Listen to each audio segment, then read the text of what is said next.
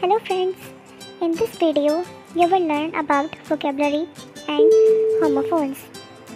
Vocabulary includes the words either used or understood by the people and homophones are the words that sound same but look different and don't mean the same. I give you some examples. First word is meet. It is nice to meet you. She ate meat in lunch. Second word is scent. I love the scent that my mother always wears. We have sent you an invitation. Next word is wear.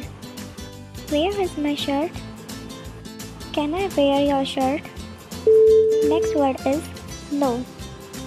There is no chocolate in the fridge.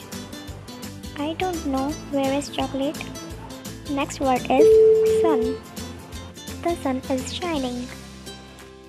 My son is 2 years old. Next word is deer. I saw a deer in the forest. Dear mom, thank you for everything. And the last word is ate.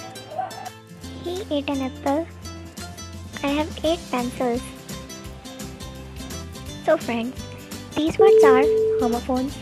There are many various other words like hair, male, pair, eye, piece, plane, sea, and so many other words. Now you try to find out the meaning of these words and use them in a sentence.